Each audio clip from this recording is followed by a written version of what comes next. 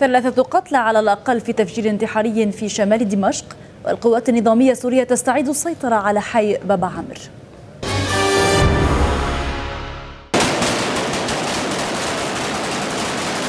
المعارضة السورية التي ربحت المقعد السوري في جامعة الدول العربية خسرت السيطرة على حي باب عمر في حمص بعدما استعادته القوات النظامية بعد أقل من ثلاثة أسابيع من دخول مقاتلي المعارضة إليه.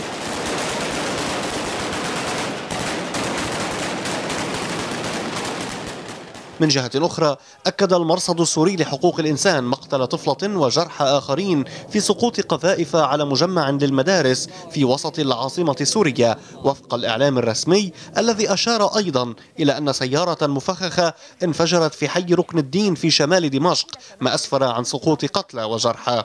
وفي التفاصيل أن إرهابيا انتحاريا فجر حافلة نقل صغيرة في منطقة شرق ركن الدين بالقرب من هيئة الإمداد والتموين التابعة للجيش السوري. من جهته أكد المرصد سقوط عدد من العسكريين. وفي مزيد من أعمال العنف أكد المرصد تجدد القصف من القوات النظامية على مناطق في حي جوبر شرق العاصمة. وفي ريف دمشق تعرضت بلدات لقصف عنيف.